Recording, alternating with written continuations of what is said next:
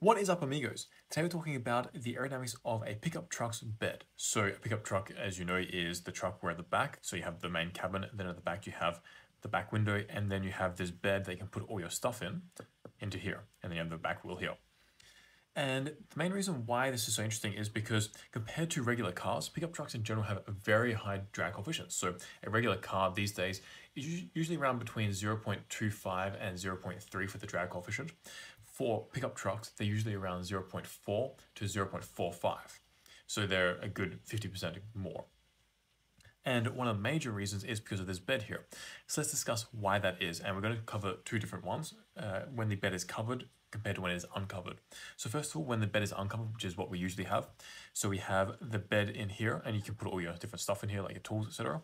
And so the flow to begin with is quite good. It comes over the top and you can make the front of the pickup truck very nice and sleek so you don't get uh, much of a drag in the front here.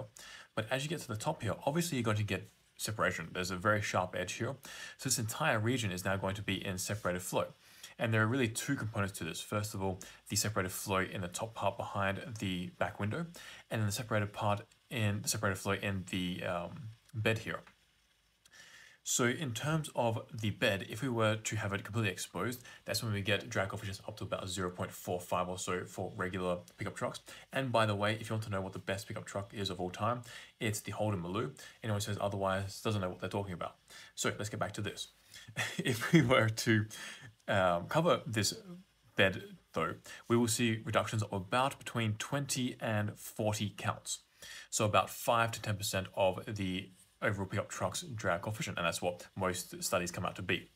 And the reason why that we still get quite a high drag coefficient for this car still is still around about 0.4 is because we have separation around this region and then we have the back exposed to a lot of separated flow. And not to mention when the flow comes along the back here, which is now covered, this bed, it is still going to separate at this back edge here where the tailgate comes down. And we're going to get separated flow here, and that's going to impact this rear. Now, we can't really do too much about that because this is a practical consideration down here.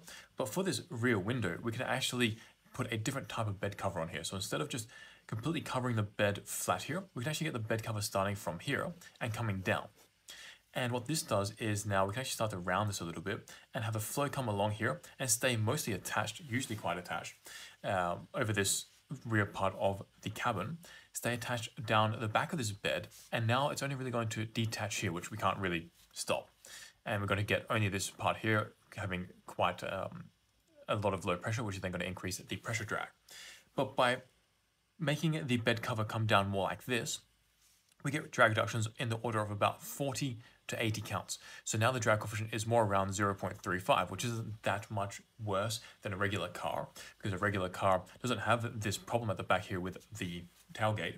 So this compromise here is pretty good, not to mention that uh, pickup trucks are usually significantly higher off the ground, so more of their tires are exposed to the flow, which is then increasing the drag even more.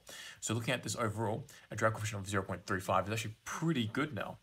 So that is the aerodynamics of the pickup truck's bed and what the difference is between covering it completely flat and covering it from the top here and the effects on the pressure and there's a pressure drag and hence the overall drag coefficient.